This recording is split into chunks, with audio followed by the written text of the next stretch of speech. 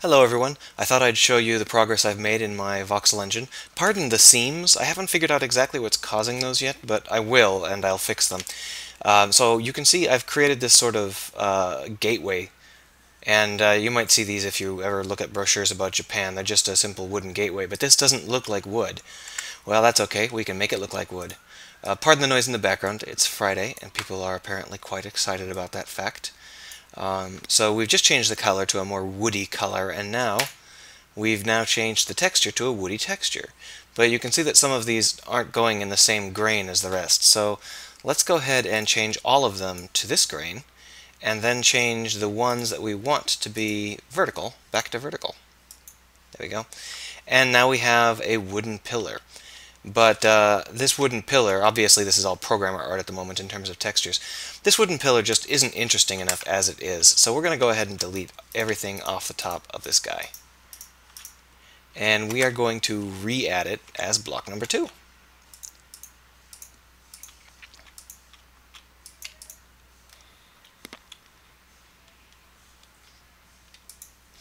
And as block number two, we'll just go ahead and set it up as wood again, like so. Oh, I'm just editing one face. Got to edit all the faces there. There you go. Something like this again. And put it back to being wood, but this time we want the faces to be horizontal rather than vertical. So that's what we'll do. And so now we've got a very, very basic wooden gateway. Um, you know, that's just not cool enough for me. So let's go ahead and add ourselves a little a little inside of the gateway. We're going to put in more materials like this. All right. So what are we going to make that out of? Well, how about mm, clouds? No. Uh, no. No. No. No. I think these are okay. Yeah, we'll make it out of these stone bricks, which we will have colored a darker gray, something like this. Oh, darker than that. We want it to stand out from the wood. There we are. But there are some cool things we can do with this that we're not doing with it yet. For example, we can set this face up to be white or red. Let's go ahead and make it red because that's easy.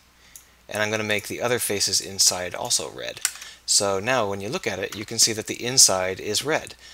But we can also go ahead and make those faces something else, like um, how about we can make them this thing? There you are. So now we have this red circle inside there. And isn't that kind of neat? But that's not neat enough, neat enough for me. I want to have a keyhole. So let's build ourselves a little keyhole.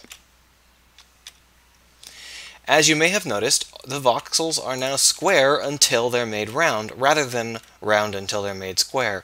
This allows me to put in a lot of different kinds of rounds, uh, of, of things that round, which is something I was limited to before, just different kinds of straightening stuff out. But uh, in this case, you can see that I've created a method of making grooves in verts in uh, voxels, but I also have a way of pushing down and blending them, like so. So, not blending them, smoothing them. So these are the two that I currently have uh, hotkeyed, and you can see that they allow us to create a much more organic shape. There are other materials I could use. Um, it turns out that if I pause this to change the materials, um, Fraps gets annoyed, so I'm not going to do that. But I did make a Tron material, which is emissive, which means that all these black lines glow very, very brightly, and that's really cool. And uh, the next step in this is to save and load these, and then you can combine them into in-game objects. So you might have this as one element of your in-game object, and then you might combine it with another voxel object that actually is made out of the emissive material, and maybe stick that in this keyhole here and shrink it until it fits. And you'll also be able to deform those objects using spine twists. So you'll have a great time being able to create really organic curves by uh, by by uh, twisting up all of these objects that you add and scaling them uh, and inflating and deflating them.